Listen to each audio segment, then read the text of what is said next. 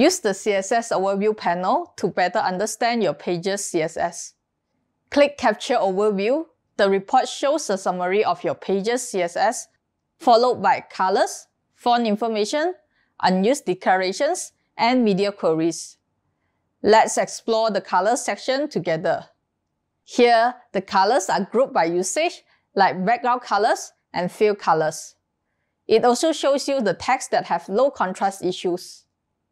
Let's say this color doesn't match the color scheme of your site.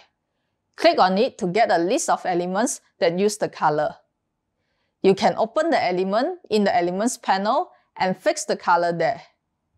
The Unused Declaration section lists out the style which have no effect. For example, these two declarations are unused because the height and width of an inline element are determined by its content clicking the occurrences to view the affected elements. You can always clear the overview and rerun the report, especially after applying your local changes. To learn more about the CSS Overview panel, go to goo.gle slash devtools-css-overview. See you for the next DevTools tip!